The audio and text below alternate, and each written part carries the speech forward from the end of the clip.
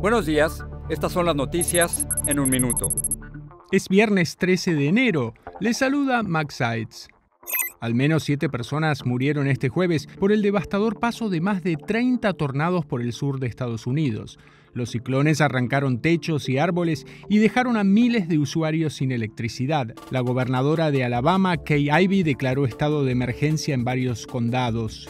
La presión sobre Joe Biden se elevó este jueves luego de que el fiscal general Merrick Garland nombrara a un fiscal especial para analizar los documentos clasificados hallados por abogados del mandatario en el garage de su casa en Delaware y en una oficina privada en Washington. Asimismo, los republicanos exigieron una investigación del Congreso. Lisa Marie Presley, cantante y única hija de Elvis Presley, murió este jueves a los 54 años, según informó su familia. Presley había sido hospitalizada horas antes, tras presuntamente sufrir un ataque cardíaco. Este viernes se sortea el premio mayor de Mega Millions, que asciende a 1.350 millones de dólares. Es el segundo mayor premio en la historia del juego.